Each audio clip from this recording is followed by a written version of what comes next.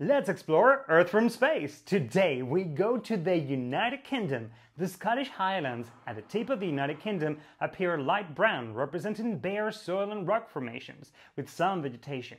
The rest of the island, as well as the visible part of Ireland, are very green, representing dense vegetation.